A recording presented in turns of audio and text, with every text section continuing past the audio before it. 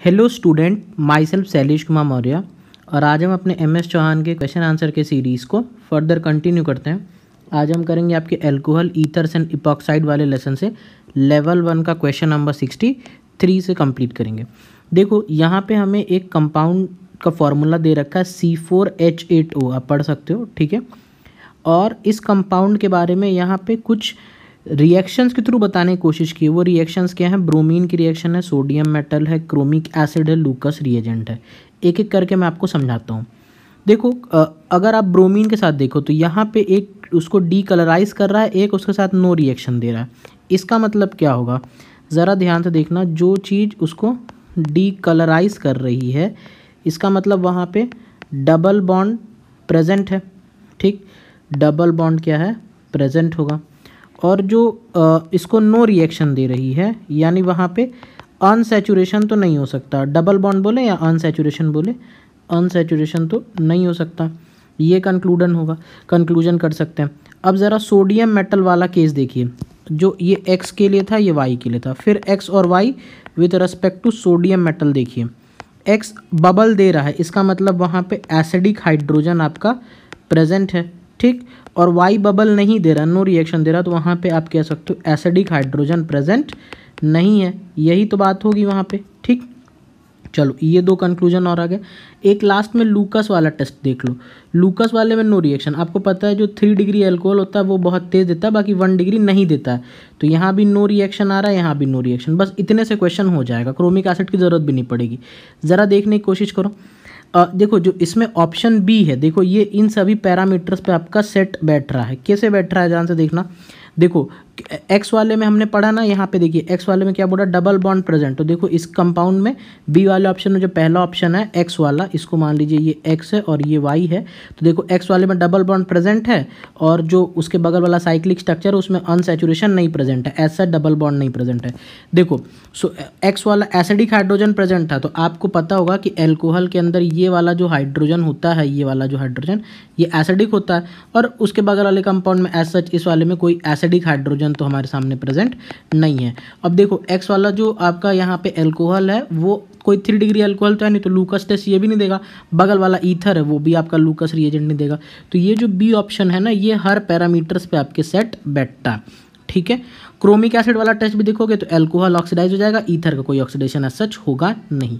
तो इस केस पे देखोगे, समझेंगे अगर इन सभी पैरामीटर्स को तो आप कंक्लूड पहुँच जाएँगे कि इस पे होगा। आपको ऑप्शंस सब ऑप्शन लगा के चेक करना पड़ेगा।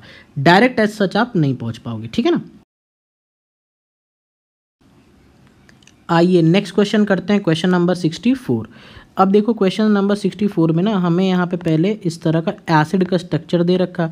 C double bond O O H और इसकी रिएक्शन मुझे किसके साथ में करानी है? एल आई एच के साथ में करानी है, देखो एल आई एच तो आपको पता है लिथियम के ऊपर होगा प्लस चार्ज मेटल है, इसके ऊपर है एच माइनस और यहाँ से अगर ये एच माइनस है तो ये क्या करेगा ना, उसके, ये एसिड के एसिडिक हाइड्रोजन को एब्स्ट्रैक्ट कर लेगा और यहाँ से इस तरह से हाइड्रोजन गैस क्या हो जाएगी लिबरेट आउट हो जाएगी।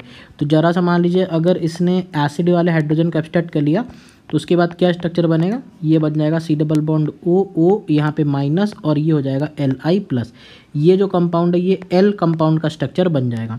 अब देखो सिंपली इसके बाद हमें इसकी रिएक्शन किसके साथ में करानी है?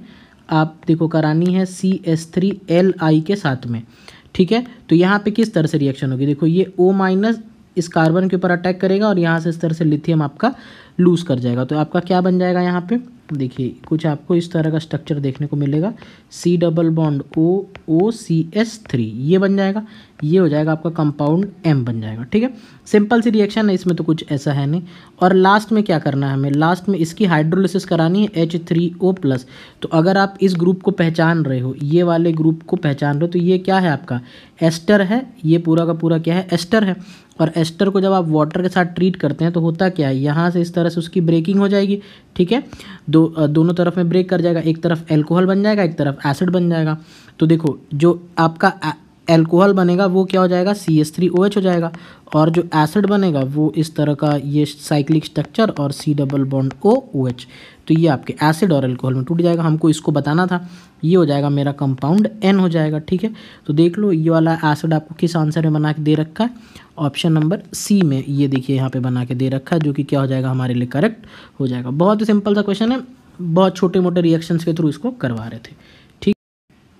आइए नेक्स्ट क्वेश्चन करते हैं क्वेश्चन नंबर सिक्सटी फाइव अब देखो, यहाँ पे ना इस क्वेश्चन में भी कुछ दम नहीं है ऐसा। बस यहाँ पे स्ट्रक्चर ऐसे भयानक से बना दिया कि दिमाग में डर बैठ जाता है। ज़रा देखने का कोशिश करिएगा हमें जो स्ट्रक्चर बना के दे रखा है, वो कुछ इस तरह से। ये हमारे पास बेंजिन रिंग हो गई, यहाँ पे सी एच ये हो गया ओ एच ठीक। ये है C double bond O O H ये स्ट्रक्चर है, ठीक। मेरे को इसकी रिएक्शन किसके साथ में करानी है? ज़रा ध्यान से देखिएगा। C H three C H two O H के साथ में करानी है। अब ज़रा ध्यान से आप सोचने की कोशिश करो, ये जो कंपाउंड यहाँ पे दे रखा है, ये क्या है सर आपका? ये है एल्कोहल ठीक? और इसके सामने ये जो फंक्शनल ग्रुप यहाँ पे प्रेजेंट है, ये क्या है आपका? एसिड एसिड और एल्कोहल और अगर आप ध्यान से इस क्वेश्चन में देखोगे तो यहाँ पे एच सी एल भी, यानी एसिडिक कंडीशन भी दे दिया है। तो एसिडिक कंडीशन में एल्कोहल और एसिड अगर मिलते हैं तो क्या बन जाता है? बिल्कुल सही। यहाँ पे जो रिएक्शन हो जाएगी, वो हो जाएगी एस्ट्रीफी एस्टरीफिकेशन रिएक्शन आपको देखने को मिलेगी। और एस्टरीफिकेशन रिएक्शन में अगर मैं डायरेक्ट लिखना चाहूँ तो आपको पता ही होगा, जैसे मान लीजिए यहाँ पे मैं लिख देता हूँ R C double bond O O H है, और इस तरह से एच ओ आर डैश इस तरह से कोई एसिड एल्कोहल है। तो अगर रिएक्शन होती है तो एसिड का ओ एच और एल्कोहल का एच निकल जाता है क्या कंपाउंड बनता है? R C double bond O O R dash ये स्ट्रक्चर हमें देखने को मिलती है। तो यहाँ से भी बेसिकली होगा क्या? कि इस एसिड का ये ओ OH निकल जाएगा और इस एल्कोहल का ये एच निकल जाएगा। ये निकल के आपस में जुड़ जाएँगे। तो यहाँ पे जो हमारे सामने स्ट्रक्चर आएगी उसको मैं यहाँ पे ड्रॉ कर देता हूँ देखिए। ये हो गई मेरे पेंजिन रिंग ये हो गया सी एच यहाँ पे ओ OH, ये हो जाएगा सी डबल बॉन्ड ओ ये कनेक्ट हो जाएगा। ये एल्कोहल वाले से O C H two C H three के साथ में। ये मेरे सामने रिएक्शन हो जाएगी। अब देखो, यहाँ पे ध्यान से इसको मैं थोड़ा सा छोटा कर देता हूँ। देखिए, ये हमारे सामने बन गया। अब मेरे को इसकी रिएक्शन किसके साथ में करानी? है इसकी रिएक्शन मेरे को करानी है S O C L two के साथ में थायोनिल क्लोराइड के साथ में। आपको पता होगा थायोनिल क्लोराइड करता क्या है? एल्कोहल को एल्कोहल के ओ OH को क्लोरीन के अंदर कन्वर्ट कर देता है। तो एल्कोहल का ओ OH यहाँ पे कहाँ प्रेजेंट है? ये जो नीचे एल्कोहल का ओ OH प्रेजेंट है। इसी ओ OH को किसके अंदर कन्वर्ट कर देगा? ये सी एल के अंदर कन्वर्ट कर देगा। तो बेसिकली इसका जो आंसर बनेगा वो हो जाएगा सी एच यहाँ पर बनेगा सी एल ये बनेगा C double bond O O C H two C S three ये मेरा फाइनल कंपाउंड बन जाएगा।